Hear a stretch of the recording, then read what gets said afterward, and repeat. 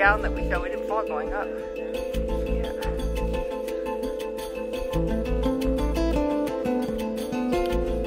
At least we got a good part of the climb done anyway.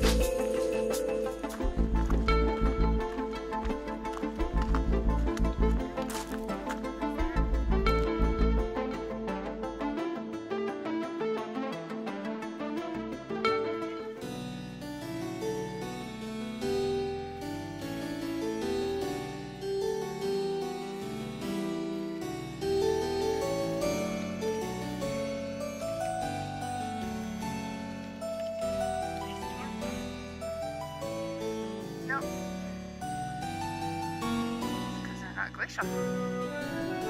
Gosh, there's a guy. Almost stood up the entire way. Guy back there.